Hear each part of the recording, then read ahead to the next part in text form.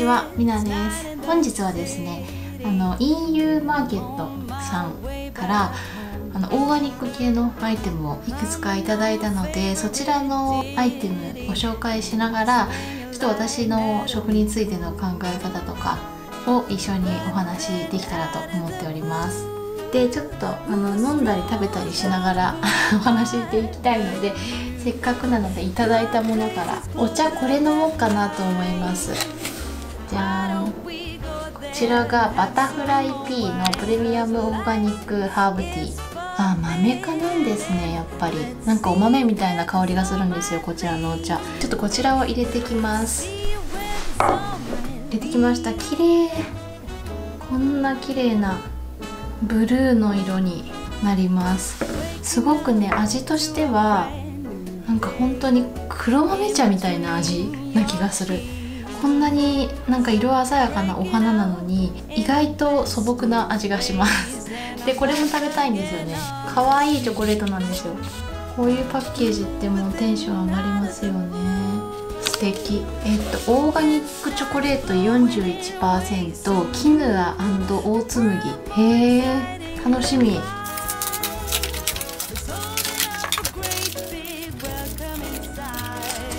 本当だ。なんかすごいなんか裏が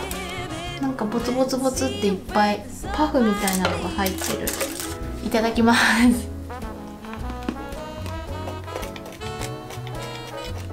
うん。食べ応えのある結構ザクザクした感じで甘さも控えめでだけど苦くもなくてすごく美味しい。ただ板チョコだけじゃないこのパフがより食感があってすごい楽しいですね食べて。香ばしいこれ味が。すごいどんどん綺麗になってきました。ブルーが。すっごい綺麗な色。はいということでまず EU マーケットって皆さんご存知でしょうか？オーガニックの食品コスメ服、まあ、全般的に全てオーガニックのものが厳選されて集められているショップであの本当に商品数がすごくたくさんあります。でそこにセレクトされている商品たちってちゃんとその EU マーケット運営の方がしっかりとこう選んでというか深い理解をした上でセレクトされているお店なんですね。なので EU マーケットで商品を買うと必ずこう安心したものが手に取れるなんだろうな自分でこうこれって本当にいいものなのかなっていう風に気にしなくてもここにあるものは間違いないって言って買えるようなお店になってます。本当にたくさんの種類のものがあるので見ていただきたいんですけどそれで今回おすすめアイテムということでコスメだったり食品だったりをいただいたのでちょっとご紹介していきたいなと思ってます。でまずすごいいいなと思ったアイテムこれあの食べてしまっていて空なんですけど食べてる映像があるのでそちらをまずご覧ください。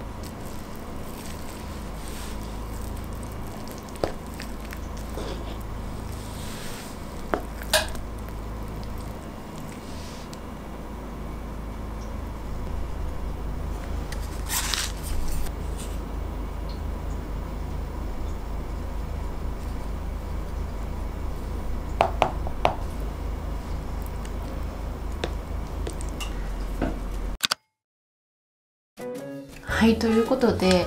えっと、お湯注ぐだけで食べられるオーガニックの麦がゆなんですね。なんか入っているものが本当にもう全てにおいてこだわったものしか使ってないってぐらいこの原材料のところとか見ると全て有機のもの。もうね調味料に至るまで全てにおいてこだわっていてでそれでいてなんなんて言うんでしょうね。インスタント食品っていうんですかねこれ。で有機ジャスのマークついていまして私これ食べてた時ものすごい頭が痛い時だったんですよ。でも何にも作りたくなくてだけどなんかお薬飲むにしても何か食べなきゃいけないなと思っていてそんな時にあこれ食べようと思って食べたんですけど本当にお湯入れるだけだから本当に楽にあの栄養を補給することができる。それでいて体にすっごく優しいというかもう体にいいアイテムでこれは家に常備しておきたいなって思いました。で味としてはちょっと私濃い味派なので結構味すっごく優しめの作りでしたので今回いただいていたじゃん。こちらのほうじ茶塩というお塩ですね。こちらをパラパラってかけて食べたんですけどそしたらすっごく美味しかったです。他にもなんかスープとかお味噌汁の中に入れたりだとかいろんなあのお料理の中に入れてもいいみたい。それぐらいの多分味付けになってるんだと思います。すぐできるのに全てオーガニックっていう商品が家にあるとすごく安心ですよね。私本当にね凝った料理というものをしないです。料理を作っている時間が結構もったいないって思っちゃうし他にやりたいことがある状態で料理するって結構苦になってしまうんですよ。本当に何もすることがない時って楽しめると思うんですけど、私のこの今やっていること YouTube とかでもオンとオフっていう時間が分かれているわけではないのでできる限りその自分の創作の時間に当てたいって思ってしまって料理をする工程がそんなに好きではない。だけど、えっと、体に入るものだからもちろんそこをないがしろにはしたくない。っていうことで結構この今回いただいたアイテムっていうのは私にすごい刺さりました。あの例えばちょっとこちらのカレーも食べた映像あると思うのでまずご覧ください。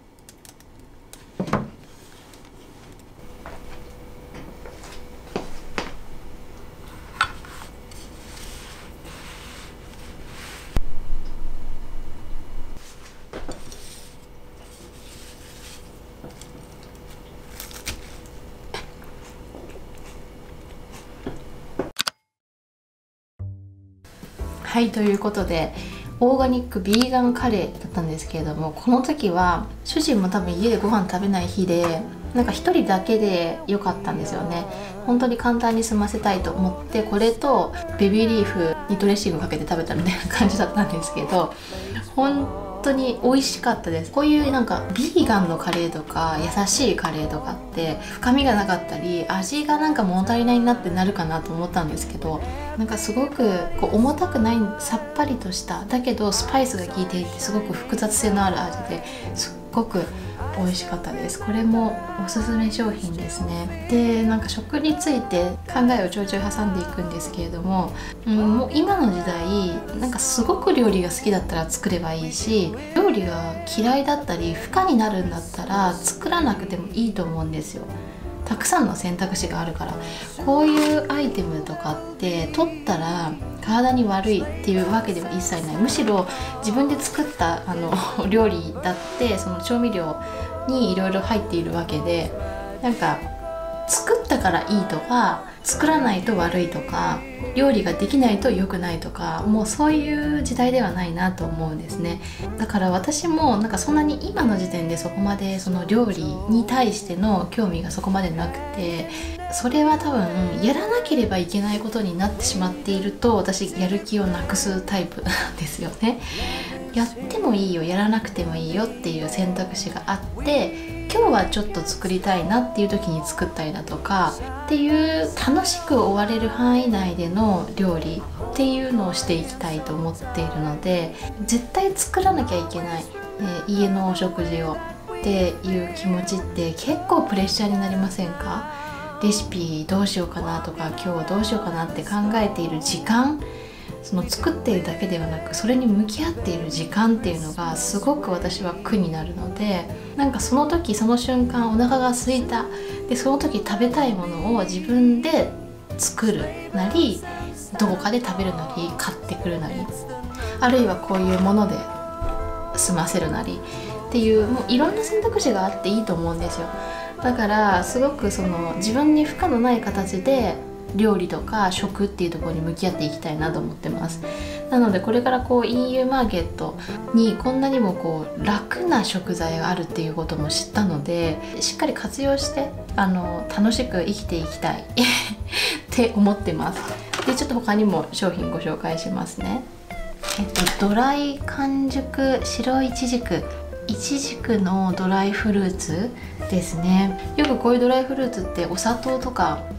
使われてたりするものもあるかと思うんですけどこれは、えっと、漂白剤着色料シロップ砂糖が一切使われていない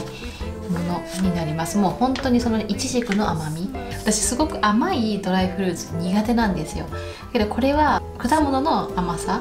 だけだからすごく食べやすいしそのなんかプチプチプチってした食感がすごい楽しかった。であとはアクセプタンス。フラワーエッセンス。です。使い方はそのゼッカにスポイトを4滴垂らしたりだとかあとはミネラルウォーターとかに4滴垂らして1日3回以上飲用するのがおすすめだそうです、うん、フラワーエッセンスを私初心者っていうか初めて使用したのでちょっとまだ何て言うか使い慣れてないところはあるんですけど植物のエキスが心の状態を助けてくれるみたいなアイテムですね。私もちょっとフラワーエッセンスこれを機にいろいろ調べてみようかなと思いました。であとはこのベチバーのドライハーブ。これはあのハーブティーとして使った後に乾燥させると消臭剤として使用できたりとかゴキブリよけになったりだとかするみたいだしサシェとしてそのまま使うこともできるようです。でベチバーっていうのは気持ちがピリピリしている時に深い安心感を与えてくれたりとか心を落ち着かせてくれるような香りででこちらのものに関しては自然栽培された貴重なベジバが使われているからかなり希少性が高いそうです。でこれすっごい私この香り好きです。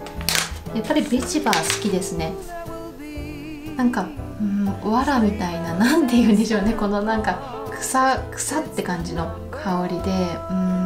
なんか癒されますね。これあの私寝る前にハーブティーで飲んだんですけどものすごいリラックスできるしこれを飲みながらお香を炊いてこうちょっと柔軟したりとかするの本当に幸せです。すっごくこれでベチバーが大好きになった商品です。こちらはねとってもおすすめ。ベチバー好きの方にも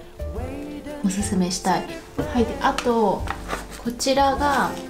飛騨よもぎミューズリー。グラノーラみたいな感じですね。私はこれホットミルクをかけて食べてみたんですけどドライデーツが入っているのでそのデーツの甘みがあるから牛乳とか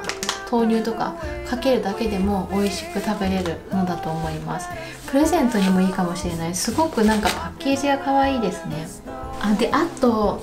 これ塩麹ですね。自然栽培の塩麹で農薬不使用添加物不使用。あの塩麹のベストな使い方とか塩麹好きな方おすすめのそのレシピ教えていただきたいって思いました。せっかくのいいものだからこそあのいい風に活かして使いたいって思っていて何が一番こう美味しい使い方なのかっていうのをご存知の方はおそらくいらっしゃると思うので塩麹を上手に使える方ちょっと聞いてみたいです。是非コメントください。あと今ちょっともうお風呂にあって使っちゃってるので現物がないこちらのよもぎソープ。これはですね台湾で30秒に1個売れている石鹸だそうなんですけれどもオリーブオイルとよもぎエキスが入っていてあとはパチョリとかレモングラスとかで香り付けがされているものなんですけれどもこの石鹸ねすごく香りよくってで使い心地もすごくしっとりして大好きでした。確かに確かに。オリエンタルなでもどこか懐かしい薬草の香りがバスルームいっぱいに広がるって書いてあるんですけど本当にそんな感じ。ちょっと癖はあるけどちょっと癒される私的には癒される香りで好きでしたね。このねすごくおしゃれなこちらアップルサイダービネガードリンク。リンゴ酢と蜂蜜とあと有機ハーブ。が入ってるものなんですね。でアップルサイダービネガー単体だと結構夏炭酸で割って飲みたいなっていう感じの味だと思うんですけどこれに関してはあのカモミールとか生姜とかシナモンとか入っているからなんかあったかいお湯と合わせるのもすごく合う味付けで冬でも飲みたいなって思えるものなんですよね。なので食後とかにこうお湯で割って飲んだりだとかちょっと寝る前とかリラックスタイムに飲むのにすっごくいい商品でこれもすごく好きでした。はい。であとはコスメ系も少しいいてましてまずこちら。この黄緑のオイルなんですけど美容オイルで入っているのがごま種子油とスクワランオリーブ由来ダマスクバラゼラニウム何でも使えるんですよね。あの保湿としてはもちろんだしクレンジングオイルとして使ったりとか頭皮のマッサージとかお顔のマッサージとか。でこの香りがすごくいいそのバラの香りとゼラニウムの香りかな。私が好きなタイプの香りでとっても癒されます。さらっとしているんだけどお肌にしっとりふわっと乗ってくれる感じで結構肌がふっくらしたりペンにベタついたりもしないけどお肌に保湿感を与えてくれる感じですごく使い心地がいいオイルでした。パッと手に取ってどこにでも塗れるっていうのがすごく使っていて心地いいアイテムでした。すごくこちらもおすすめですね。はいどんどん暗くなってきましたが続いていきます。こちら。お化粧水なんですけれどもビーナスっていうのかな。次世代型化粧水。還元ミネラルイオン水とビタミン C が入ってるみたい。これは結構細かい霧で出てくれるこの容器すごく好きです。で全然ベトついたりとかする感じではないんだけどあの吹きかけると結構しっとりしたなっていう感じがする感じのお化粧水でした。でちょっとなんか顔ダニのことについて書いてあるんですがその顔ダニが増えすぎてしまうと肌トラブルの原因になったりするんですって。だからまずは肌の環境を整えましょうみたいなことが書いてあります。ちょっと詳しくはホームページを見ていただきたいんですけれどもあすごくこう肌の状態が変わった事例とかも書いてあるのでへえそうなんかすごいあの次世代というか新しいタイプのお化粧水みたい。これはまあ使っていて心地いいですしなんかついつい吹きかけたくなるお化粧水ではありました。ちょっとこれはしばらくもっと使ってみてその肌のなんか逆に状態が悪い時とかに使ってみるといいのかなって思ったアイテムですね。はいで最後 UV クリームですこんな感じのシンプルな UV クリームでこちらがなんかこう固めのこういう感じのテクスチャーのこうなんかシアバターって感じの爪でちょっと削って取るような感じの日焼け止めです。で香りがすごいいい香り。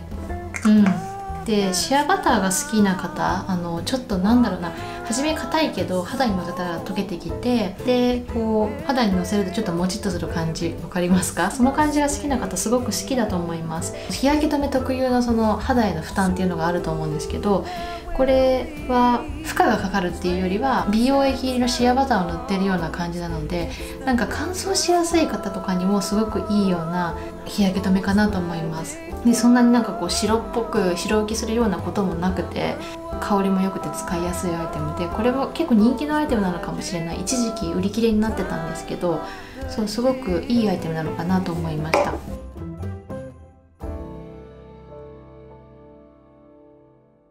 今回この EU マーケットさんがメディアをやってましてそちらのメディアの方で記事にしていただいたのでそちらに詳しく私のオーガニックに対しての考え方すごくあの素敵にまとめていただいたので そちらの記事も載せておくので是非見ていただけたらと思うんですけれどもあの今回クーポンコード用意していただいているのでそちらも概要欄に貼っておきます。EU マーケットさんは本当にそれこそこう時短できるようなアイテムで体に優しいアイテムがたくさんあるのででコスメが気になっている方はコスメもすごくたくさん売っていたので是非見てみてください。はい。本日も最後までご視聴いただきありがとうございました。バイバーイ。